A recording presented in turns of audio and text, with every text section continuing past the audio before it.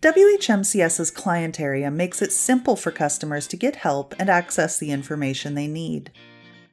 From the client area dashboard, your customers can access news and announcements you configure from the admin area. Planning some maintenance? Network status updates display throughout the client area.